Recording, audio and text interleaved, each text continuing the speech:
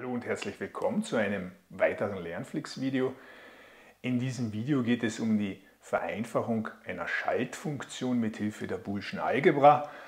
Wir sollen hier eben beweisen, dass diese Funktion eben äquivalent zu der Funktion auf der rechten Seite ist. Das Ganze möchte ich gerne mit einer Wahrheitstabelle beweisen. Für die Wahrheitstabelle, ich sehe schon, ich habe jetzt eben A, B und C als Möglichkeiten. Somit sieht die Wahrheitstabelle etwas größer aus. Und zwar habe ich ja dann ähm, acht Zeilen hier zu verwenden. Ich fange mit dem C an. Das C hat eben 0101, 0101 und 01. Das sind die Möglichkeiten für unser C.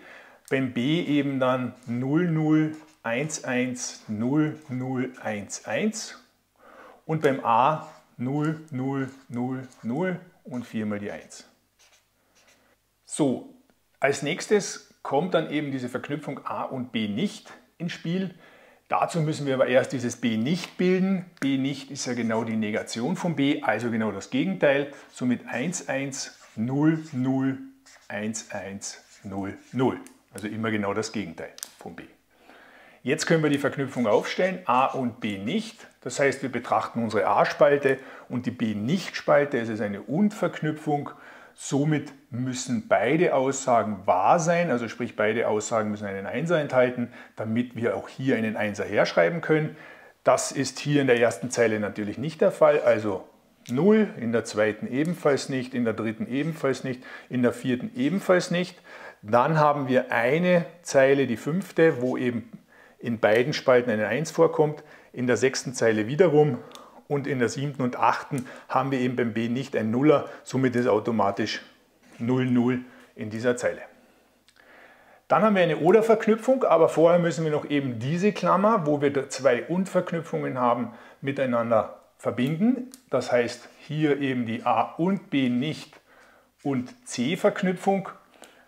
Auch hier wieder alles Und-Verknüpfungen. Es müssen alle drei eine wahre Aussage enthalten, damit ich hier eben eine wahre Aussage herschreiben kann. Also überall, wo ich zumindest einen Nuller habe, können wir hier sofort einen Nuller herschreiben.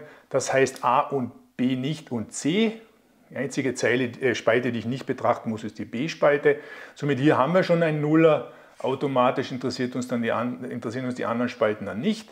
Auch hier eine 0, auch wenn hier C und B nicht 1 wäre, trotzdem ist beim A ein Nuller. Ich weiß aber schon, dass wir 4 Nuller auf jeden Fall haben vom A her.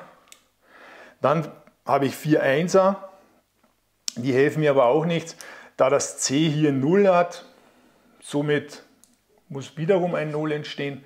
Auch hier 1, 1, 1, siehe da, wir haben einen Einser, ja.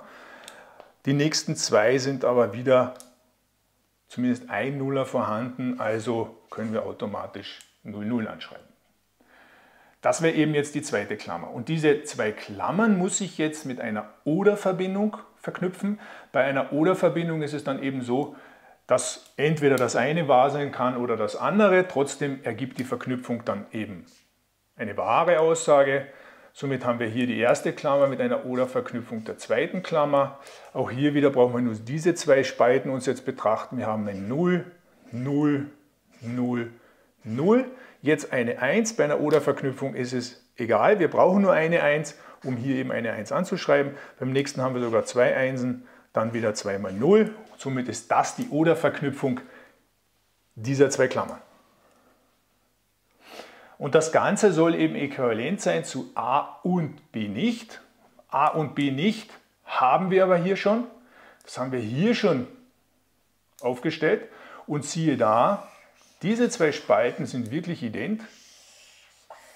Somit ist die Gleichung erfüllt.